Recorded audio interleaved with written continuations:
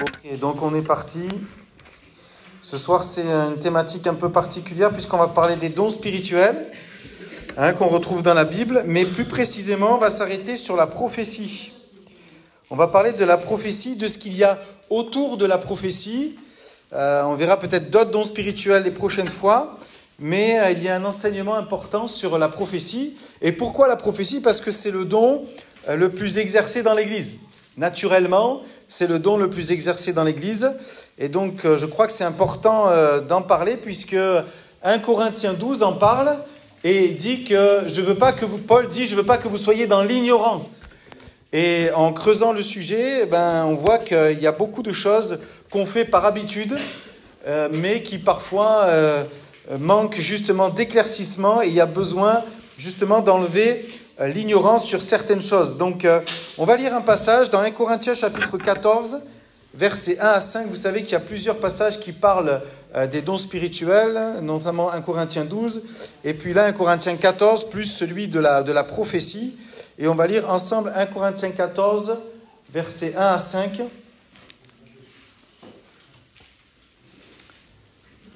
Il est dit, recherchez la charité, aspirez aussi aux dons spirituels, mais surtout à celui de prophétie. En effet, celui qui parle en langue ne parle pas aux hommes, mais à Dieu car personne ne le comprend, et c'est en esprit qu'il dit des mystères. Celui qui, qui, prophétise, au contraire, parle aux hommes, les édifie, les exhorte, les console. Celui qui parle en langue s'édifie lui-même. Celui qui prophétise édifie l'Église. Je désire que vous parliez tous en langue, mais encore plus que vous prophétisiez.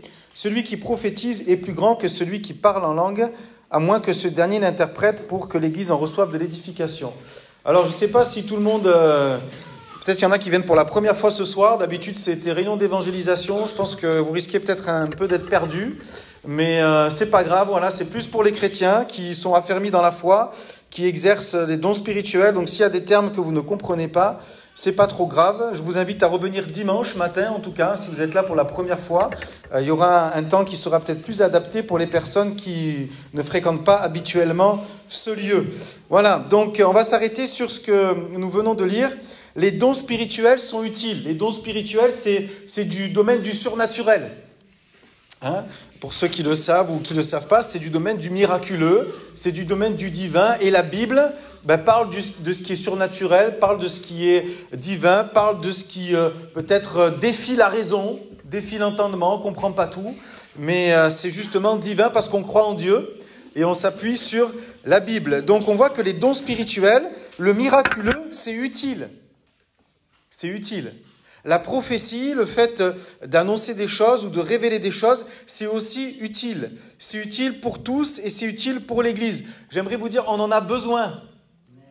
C'est quelque chose qu'on a besoin, puisque c'est dans la Bible. Donc si c'est dans la Bible et que c'est pour l'Église, c'est quelque chose qu'on a, a besoin. L'utilité pour le corps, pour les besoins du corps, pour les besoins de l'homme, pour les besoins de la femme, qu'il connaît Jésus ou pas.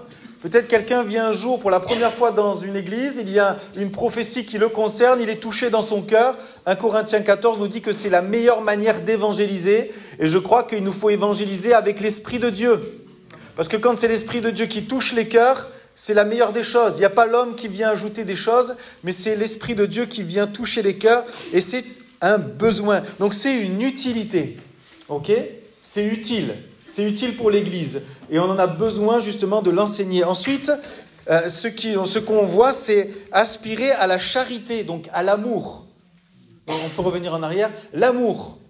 L'amour du corps, l'amour des chrétiens, l'amour de ceux qui ne sont pas chrétiens, l'amour de ceux qui ne connaissent pas Dieu.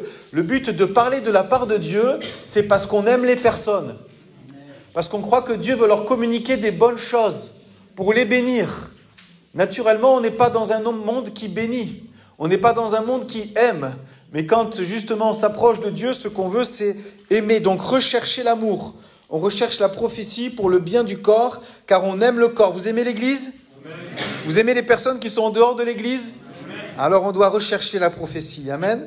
Ce n'est pas pour notre propre amour, pour notre propre gloire, parce qu'il peut y avoir euh, une certaine, joie à dire Waouh, j'ai dit quelque chose de la part de Dieu et ça a touché la personne et c'est bon, ça me glorifie moi-même, ça bénit mon ego et c'est pas pour des bonnes raisons. Hein, les bonnes raisons, c'est vraiment aimer la personne. Celui qui prophétise ou qui amène la prophétie, on doit l'oublier. Hein, il ne doit pas être vu. On est juste un canal finalement. On aime l'Église, on aime le corps de Christ et on aime les personnes. Et vous allez voir que ce n'est pas si simple que de s'attarder juste sur ce simple fait d'aimer. En fait, le simple fait d'aimer, il parcourt tout ce qu'on va voir. Parce que ce soir, on va voir même comment prophétiser dans le cadre de l'Église. Et ce qui est toujours en toile de fond, c'est l'amour. Inconditionnellement, c'est l'amour. C'est simple, mais vous allez voir que c'est essentiel et c'est utile. On pourrait dire que c'est le plus simple, mais c'est le plus important. Imaginez des prophéties données sans amour. Ça fait l'inverse. Hein, donc vous voyez que ça, peut paraître simple, tellement basique, vous l'avez certainement entendu, mais est-ce que c'est toujours donné avec amour? Et l'amour, comment pourrais-je dire? L'amour sans contrepartie, sans vouloir être glorifié, hein, sans vouloir qu'il y ait une retombée sur ma personne, mais que ce soit juste pour la personne. C'est pas si simple en réalité de le faire avec l'amour. 1 Corinthiens 13, le don de prophétie, la science de tous les mystères. Si je n'ai pas l'amour, je ne suis rien. 1 Corinthiens 13, c'est le chapitre de l'amour, il dit, je peux prophétiser sans amour. Je viens de le lire. Je peux avoir la science de tous les mystères sans amour. Donc on a certainement, pour ceux qui prophétisent, un jour peut-être sans s'en rendre compte, le fait sans vraiment aimer mais peut-être pour dire, allez, la personne, reviens, reviens à Dieu, fais ceci, fais cela. Est-ce qu'on était toujours motivé par l'amour? Moi, je sais que personnellement, si je devais sonder mon cœur, j'étais peut-être pas toujours motivé par l'amour. J'étais motivé par donner un, message qui vient de Dieu, qui atteigne son but. Mais est-ce que c'était vraiment l'amour, la motivation hein? C'est pas si simple. Hein l'amour de l'autre, mais aussi de l'Église. Et ça, c'est important. L'amour de l'individu, mais de l'ensemble. En fait, on est dans une Église, donc on respecte l'ensemble. Il faut que ce soit bien séant. Hein, la Bible parle de, bienséance, de l'ordre, de l'amour du royaume de Dieu. Vous voyez, il y a l'amour de l'individu, il y a l'amour de l'église locale, et plus grand encore, il y a l'amour du royaume de Dieu. On a la vision étroite de la personne, on veut que la prophétie puisse bénir la personne, mais plus largement qu'elle puisse bénir l'Église et qu'elle puisse bénir le royaume de Dieu. Vous voyez hein, la différence comme certains niveaux, la personne, l'ensemble, et puis ensuite le royaume de Dieu. Amen. Et les personnes, l'Église avance par l'exercice des dons spirituels et aussi par la prophétie. Je peux vous dire que parfois, quand il y a une parole prophétique qui est donnée, elle débloque des situations qu'on aurait traînées pendant des années. Je l'ai vu, je l'ai vécu, je l'ai vu ici à l'Église. Hein, donc c'est très important de rechercher ces choses-là. Alors on continue avec un mot qui euh, est euh, au début de notre lecture que nous avons faite, aspirer. Aspirer. Vous savez, aspirer, c'est pas juste une aspiration comme ça, j'aimerais bien. Le mot en grec, c'est zélo, qui veut dire brûler intérieurement, bouillir d'envie. Et le problème qu'on peut avoir, c'est qu'on se dit, mais si je brûle intérieurement, si j'aspire au don spirituel, est-ce que je ne vais pas un peu le faire par orgueil? Est-ce que je ne vais pas le faire pour moi? Et parfois, on brûle plus d'envie. On n'a plus forcément envie. Euh, on l'a même mis de côté. Hein, peut-être qu'un jour tu as prophétisé, puis tu n'as plus, tu n'as plus prophétisé. Ben, c'est que tu as arrêté d'aspirer. Parce que l'aspiration, elle ne se fait pas que quand tu donnes une prophétie un jour. Elle se fait régulièrement. Brûler d'envie, avoir toujours envie. Seigneur, je viens aujourd'hui dans ta maison et je brûle d'envie pour que tu puisses parler au cœur, que quelqu'un soit béni, que quelqu'un soit restauré, que quelqu'un soit consolé. Oh Seigneur, je pense à ceux qui souffrent et je brûle d'envie pour eux. C'est ça l'esprit de la prophétie. C'est ça la motivation de la prophétie. Donc vous voyez, aspirer, c'est bouillir d'envie. Est-ce que tu bouillonnes d'envie? J'aimerais nous rappeler que Dieu donne à ceux qui ont faim, qui recherchent, et même, j'ose dire, même si on travaille, qu'on a des soucis, qu'on a des préoccupations, des défis tous les jours, à ceux qui en font une priorité dans la vie. Dans ton culte personnel, est-ce que tu penses aux dons spirituels? Parce qu'il y a tous les dons, il y en a neuf. Mais on peut parler de, la prophétie aussi. Hein. J'ai noté ceci, je ne peux pas ne pas exercer les dons spirituels. Est-ce que c'est une phrase que tu te dis ça? Je ne peux pas ne pas exercer les dons spirituels. quand je suis rentré, même avant de rentrer dans le ministère, je disais, Seigneur, c'est pas possible qu'en tant que chrétien, moi, Samuel, j'exerce pas les dons spirituels. C'est pas possible. Je dois le faire pour le royaume, pour l'Église, parce que c'est un commandement, parce que tout simplement une chose aussi simple, il n'y en a pas assez. Il n'y a pas assez de personnes qui exercent les dons spirituels. Hein, dans l'Église, si on devrait faire le recensement de combien de dons on a, on en a trois. Allez, quatre. Parole, euh, parole de connaissance, prophétie, interprétation euh, et don, euh, don, des langues. Si encore l'interprétation, c'est vraiment l'interprétation, parce que parfois on ne sait pas. Hein. Donc allez, 4 sur 9. Vous voyez, donc il en manque. Hein. Hein, donc je ne peux pas ne pas exercer les dons spirituels. Et quand on avance dans la foi, on doit se le dire ça. Je dois le faire. Pas pour moi, pas pour mon nom, mais pour le royaume de Dieu, pour l'église locale. L'église locale en a besoin. Amen. Vous n'avez pas l'air trop convaincu. Hein et en plus, on peut les vivre de plus en plus. En fait, on peut toujours grandir, on peut toujours progresser, on peut toujours aller plus loin. C'est infini. Amen. Hein. Je crois que ce soir, si vous êtes là, c'est parce que vous avez soif, parce qu'on en a besoin.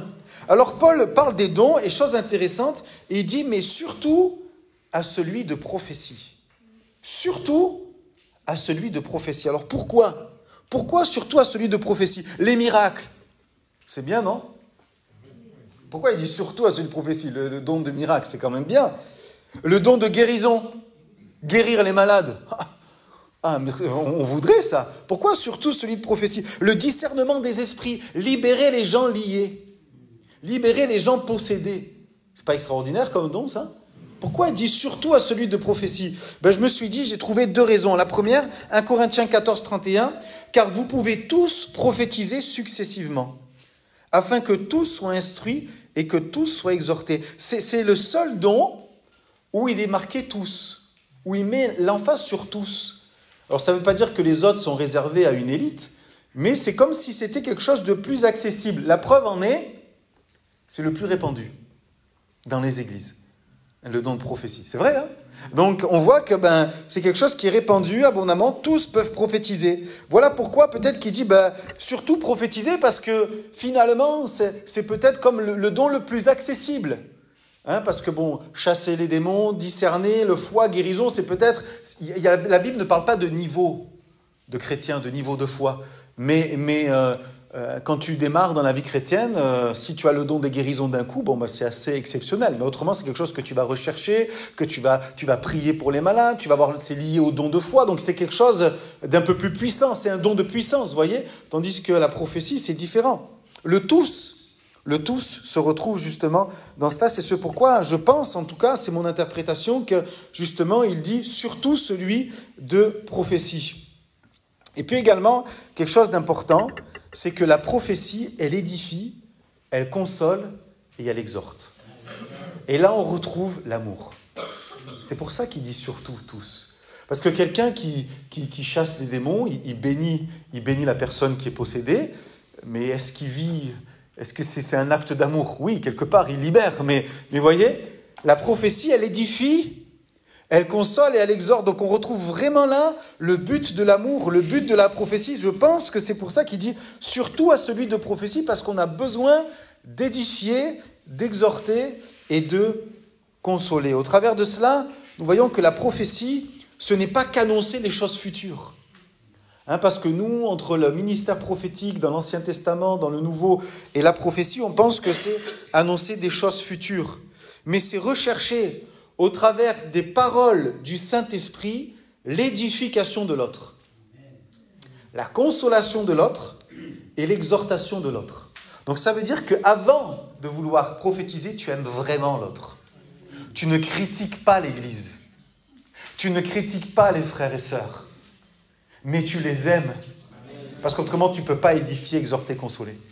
Et nous, parfois, on a mis les choses à l'envers. On veut édifier, on veut, on veut, on veut prophétiser, mais est-ce que tu aimes l'Église? Est-ce que tu aimes les frères et sœurs?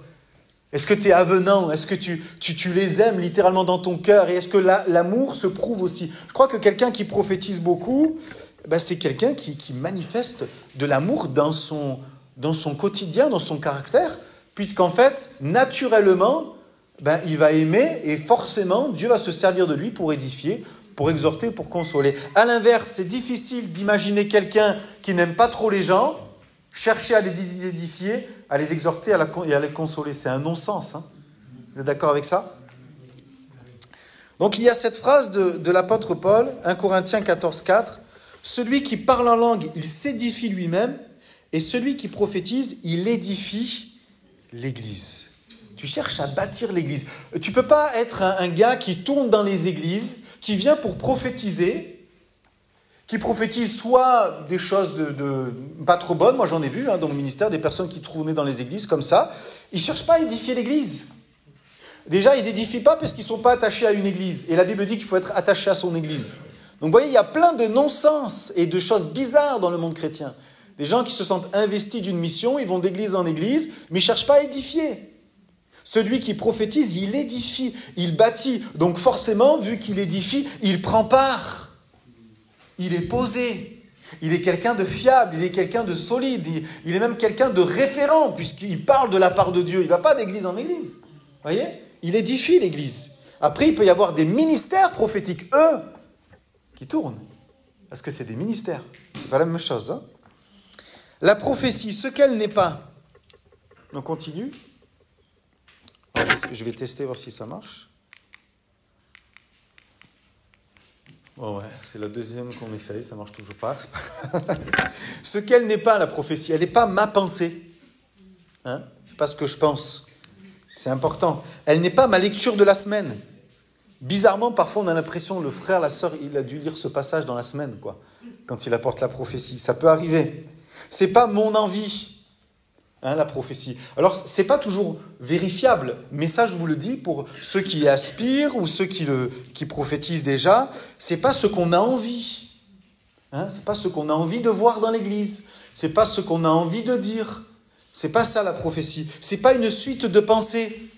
Parce que si on commence à réfléchir, et il faut le faire, on va le voir après, aussi on analyse la pensée qui vient de l'esprit, est-ce que finalement c'est une pensée qui est arrivée parce que j'ai pensé à autre chose, qui m'a amené à penser à autre chose, et aujourd'hui j'arrive, tac, maintenant, avec une pensée, c'est une succession de pensées. Vous voyez? Mais ça, c'est pas une prophétie. Hein?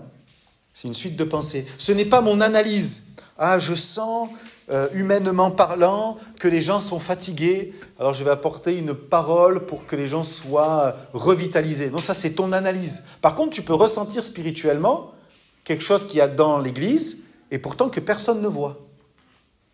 Là, ça vient du Saint-Esprit. Voyez? Sinon, c'est une analyse humaine. Ce n'est pas mon ressenti, c'est pas mes émotions. Même si le Saint-Esprit va parler, va travailler avec nos émotions, c'est aussi dangereux de s'appuyer que sur ses émotions. Je crois qu'il y a même des émotions spirituelles. Hein. L'apôtre Paul euh, et même Marie euh, dira qu'elle repassait ces choses dans son cœur et elle tressaillit de joie par le Saint-Esprit. La joie, c'est une émotion. Donc il y a des joies qui sont, des émotions qui sont suscitées aussi par le Saint-Esprit. Ok, voilà ce que n'est pas la prophétie. Et, ça, c'est important de, se le dire. Hein. Ce qu'elle est, en revanche, c'est une pensée qui vient de l'Esprit. C'est une pensée qui vient de l'esprit. Alors après, on va voir comment savoir si ça vient de l'esprit. Hein. C'est peut être une image, une image qui vient de l'esprit. Ça peut être un mot qui ensuite va amener comme un développement. Il y a un mot qui résonne, je ne sais pas pourquoi il vient, je sens que c'est le Saint-Esprit. Et puis j'apporte ce mot, ou même avant de l'apporter, je, questionne le Saint-Esprit, pourquoi ce mot? Et certainement, s'il y a un mot, ben après le Saint-Esprit va vous amener à, un développement du mot.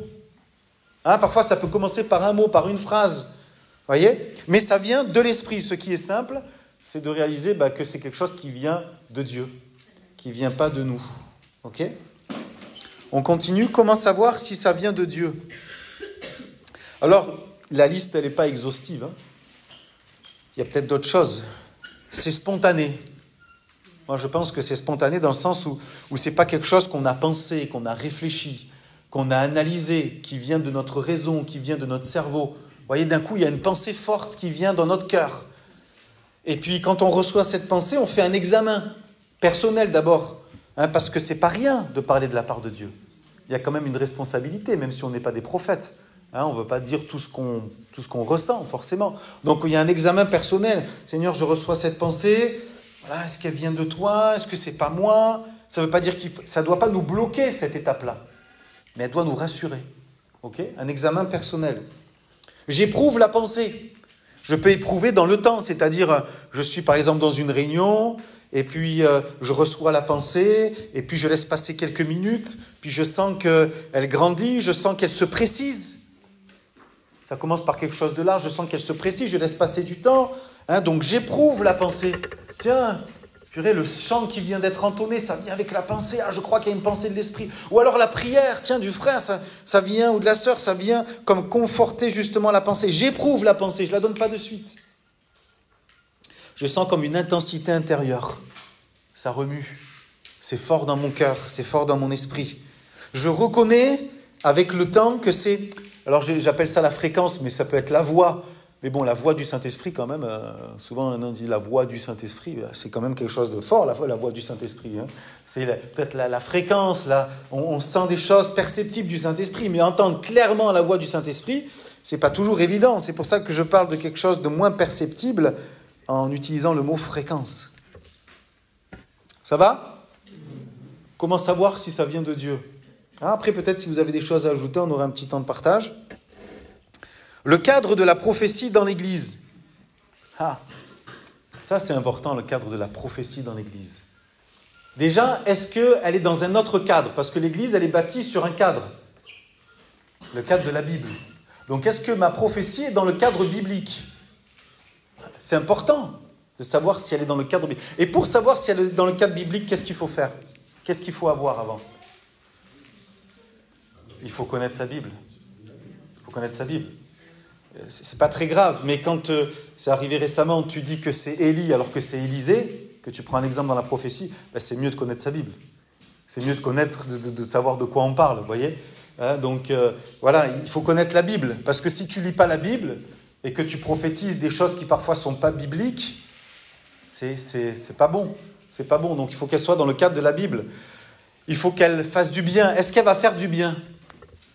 Est-ce qu'elle va faire du bien Alors parfois, c'est vrai que ça peut avertir de quelque chose de, grave, mais, mais avant d'en arriver là, voyez, avant d'en arriver à des choses précises, lourdes, graves, je pense qu'il y a tout un chemin de la prophétie où, on est d'abord là pour édifier, pour exhorter, pour consoler. Et je dois vous avouer une chose, en mesurant euh, les, mots que je dis et, et avec tout l'amour que j'ai pour le mouvement dans lequel je suis, l'Assemblée, les Assemblées de Dieu de France, avec euh, les années, moi, j'ai rare. C'était plus bâti sur, sur fais attention, des reproches, reviens. C'était rarement. Je suis né dans les églises, mon père est pasteur. C'est rarement pour. je pense que les frères et sœurs qui l'ont fait, l'ont fait de tout leur cœur, avec amour, mais, mais, mais faire du bien, et faire du bien. Moi, c'est pas quelque chose qui, qui a été très visible pour moi dans les églises. Faire du bien. C'est souvent pour reprendre, c'est souvent pour avertir, c'est souvent pour... Alors le but, c'est vrai que c'est pour faire du bien. Mais voyez, de la douceur, de l'amour, faire du bien. Est-ce que ça va faire du bien?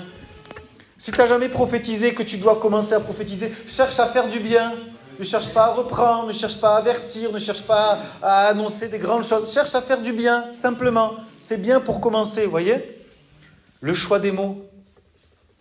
Tu sais que la pensée, elle peut venir de Dieu, à part si tu as un mot mais c'est le choix des mots. C'est le choix des mots. C'est important le choix des mots. Et ça, c'est quelque chose qui s'apprend, frères et sœurs. Et je l'apprends à des frères et sœurs ici dans l'église. Ça arrive souvent. C'est même arrivé récemment où c'est moi qui ai donné la parole parce qu'elle était trop dure. C'était encore, il y a ceci, il y a cela, il y a ceci qui ne va pas. Et on peut choisir les mots. On peut choisir de dire, voilà, tu peux dire la même chose, mais en choisissant les mots, en disant, le Seigneur est avec toi, il t'aime, il voit qu'il y a cette chose dans ta vie, mais il veut t'amener plus loin, il veut t'encourager, plutôt que de dire, il y a cette chose dans ta vie, repens-toi. voyez? Le choix des mots, le choix du ton. le ton, euh, mon frère, c'est, c'est pas le Saint-Esprit qui t'impose le ton, ma soeur. C'est toi. Mais dans notre habitude, vu qu'on prend la parole et qu'on part de la part de Dieu, on doit avoir un ton un peu, vous voyez, le choix du ton. Attendre le bon moment dans l'Église. Si le leader de louange, quelque part, je veux même vous dire une chose, celui qui prophétise, il doit être soumis aussi au leader.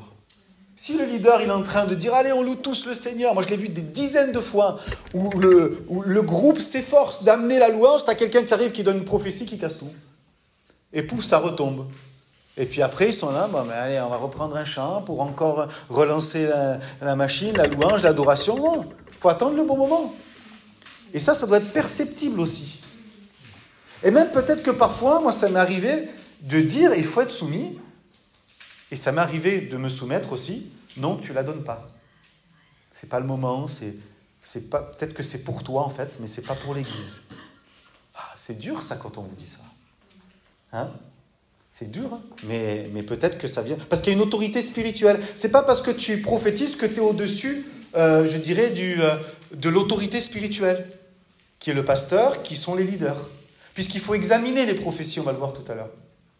Et je pense que c'est mieux d'examiner avant. Alors nous, on n'a pas eu cette habitude dans les églises, plutôt que d'examiner après. Parce qu'une fois que la parole est dite, va la rattraper après. Hein? Donc il vaut mieux examiner avant et dire écoute, amène-le comme ça, et, puis, euh, et puis euh, ce sera mieux comme ça. Hein Attendre le bon moment. On continue Ça va C'est pas trop dur J'espère le dire avec tout mon amour. Hein Des choses simples. Voilà. Alors maintenant, on a le micro. Mais avant, quand il n'y pas le micro, si tu donnes une prophétie en regardant tes pieds et en parlant pas fort, on va rien entendre. Alors on peut même se dire, je suis sûr qu'on pense à ça. Oui, mais vu que je donne la parole, celui qui doit l'entendre doit l'entendre. Le Saint-Esprit fera en sorte qu'il l'entende. Ben non, c'est ta responsabilité de bien articuler. Maintenant qu'on a le micro, c'est ta responsabilité de ne pas fuir le micro. Hein, parce que quand on a un micro, on n'a pas toujours un micro dans les mains, on ne sait pas comment le, le, prendre et on entend sa voix. Vous savez, entendre sa voix, c'est bizarre nous, on est habitués, mais c'est très bizarre d'entendre sa voix. Donc, on entend sa voix, ben, bien parler dans le micro. Vaut mieux être trop fort que, que ne pas entendre. La prophétie, elle doit. Alors, vous allez me dire, ben, dis j'espère que ça ne va pas vous décourager. Quand j'ai commencé à rédiger, je dis, malheur, le pauvre, tout ce qu'il y a, ils ne vont plus vouloir prophétiser. pas trop long. Pas trop long. Mais pas trop court non plus. Hein, des fois, on sent, ah, la sœur, le frère, il aurait pu aller plus loin. Là. On sentait qu'il y avait quelque chose de bon. Parce qu'on est, nous, ce qu'on veut en tant qu'Église, c'est toujours être dans l'encouragement. Même quand tu es trop long, on va t'encourager à être moins long, mais on va t'encourager. Hein pas trop long, pas trop court. Gérer ses émotions. j'ai bien aimé, au tout début de mon ministère, je lisais Donald G, si vous voulez des références euh, dans le, dans justement les dons spirituels. Donald G, Donald G c'est un vieux pasteur anglais, l'apôtre de l'équilibre. Et, j'avais même écouté une prédication de lui, je, l'ai perdu, mais, mais qui disait Oh, le Saint-Esprit me dit, et il y a les émotions, et ça doit être maintenant absolument, je passe au-dessus de toutes les autorités parce que les émotions sont là. Non Tu peux gérer tes émotions. Tu peux gérer tes C'est important de gérer ses émotions. Hein, parce que les émotions, ça, la façon dont tu l'apportes, ça y fait beaucoup en réalité. Ça peut être bon comme ça peut être euh, peut-être moins bon aussi, vous voyez Donc on peut gérer ses émotions, voilà, on se pose, on reçoit, on souffle, et puis on apporte tranquillement la pensée avec amour, dans la douceur. On continue Le cadre de l'Église, c'est d'examiner les prophéties, comme je disais. Eh ouais. Pas d'examiner forcément vos vies, quoique bon, si tu prophétises, normalement tu dois avoir une vie quand même exemplaire, mais examiner les prophéties. Voilà, c'est important. Même si, après, vous savez, plus les prophéties vont être bonnes, plus on va aller dans le détail de l'examen. C'est comme les prédicateurs, quand ils prêchent, de plus en plus, je leur dis, voilà, maintenant je vais dans le détail. Alors je vais reprendre dans le détail, mais pour qu'ils soient encore meilleurs. Ben, c'est pareil, les prophéties. Il faut aller dans le détail. Ah, tu as dit Élisée, non, c'était Élie. Bon, c'est pas grave, mais voilà, il faut aller dans le détail. Veillez à la bienveillance. Il faut être bienveillant avec les prophéties, mais il faut être aussi dans l'ordre. Bon, on n'a pas trop de problèmes, il n'y a pas de désordre dans l'Église, donc c'est bien. La prophétie, elle doit porter les valeurs du royaume, le respect, l'amour, la bienséance, hein, honorer, honorer les personnes qui reçoivent les prophéties. Est-ce que tu penses à honorer la personne qui va recevoir la prophétie? Ah.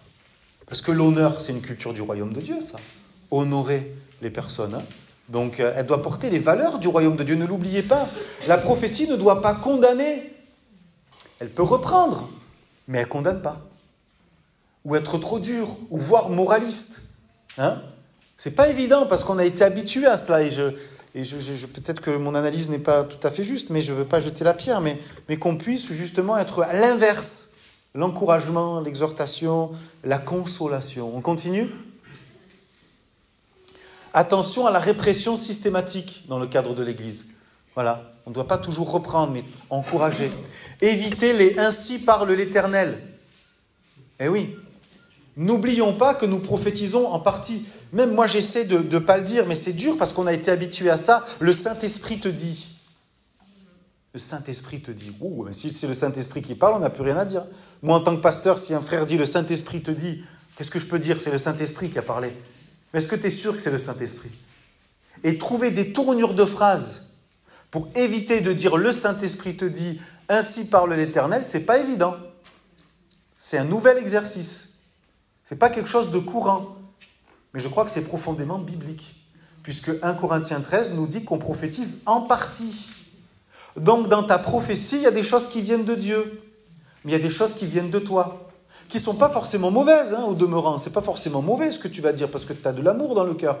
Mais ça ne vient pas forcément de Dieu. Donc ne l'oublions pas. Même les prophètes du Nouveau Testament, ben, certains prophétisaient en partie. Voyez? Donc euh, n'oublions pas qu'on prophétise en partie. Donc évitons euh, de dire ainsi parle l'Éternel, le Saint-Esprit te dit. Tu peux dire, voilà, admettons, euh, quelqu'un est, dans le désarroi, le Seigneur a vu ton désarroi, mais sache que il est à tes côtés. Mais si tu dis le Saint-Esprit te dit qu'il est à tes côtés, oui, c'est pas faux, voyez? Mais c'est une question de langage. Évitons de dire le Saint-Esprit te dit, ainsi parle l'Éternel. Et c'est pas évident parce qu'on est habitué à cela. Mais je trouve que ben, ça ramène un petit peu à de l'humilité aussi, de réaliser que ce n'est pas toujours nous qui parlons, même si euh, on est bien intentionné. Vous êtes OK avec ça? C'est la Bible, hein on prophétise tous en partie. Que faire des paroles privées? Ah, je lis un livre très intéressant qui s'appelle le SAV prophétique en ce moment. C'est un prophète qui a écrit ça. Et il disait une chose intéressante à laquelle j'avais jamais pensé. Il dit quand tu as des paroles privées, c'est-à-dire que tu reçois quelque chose pour quelqu'un, que ce n'est pas dans le cadre d'une réunion, il dit ben, je conseille la personne qui reçoit une parole pour quelqu'un d'en parler d'abord à une autorité spirituelle. Eh oui. Pour te couvrir. Et peut-être que l'autorité spirituelle, en l'occurrence le pasteur, peut aussi confirmer ou dire, là, surtout, non, ne lui dis pas ça, moi, je prie aussi, je suis un homme de Dieu, on se place devant. Surtout, ne dis pas ça à la personne. Ou alors, oui, vas-y, dis-lui, ça va l'encourager. Parce que en dehors, certains ont même dit, bon ben voilà, maintenant qu'il y a le micro, je donne des paroles privées. Mais, mais, c'est des paroles qui viennent de Dieu dans le cadre de l'Église. L'Église, n'est pas que les réunions. L'Église, c'est les pierres vivantes. Donc si tu t'amuses à donner des paroles à tout le monde sans qu'il y ait aucun contrôle, aucun examen, est-ce que c'est biblique? Puisque c'est une prophétie. Vous voyez? Si on examine les prophéties dans le cadre d'une réunion, ça ne veut pas dire que systématiquement on va tout vérifier, mais vous allez voir pourquoi je dis ça en continu. Ne pas donner de direction de vie. Change de métier, déménage, marie-toi avec cette personne, fais ceci, fais cela. Ça, c'est réservé qu'à certains, écoutez-moi bien, qu'à certains prophètes. Ça ne doit pas arriver dans l'Église. C'est très dangereux des directions de vie. Par contre, tu peux dire, je ressens que peut-être Dieu t'appelle à, quelque chose de nouveau, voilà, et, même si tu reçois une direction pour une personne, ne lui donne pas. Moi, je reçois des directions pour des personnes, je ne les donne pas. Je prie pour ça en revanche. Je prie pour que Dieu lui montre.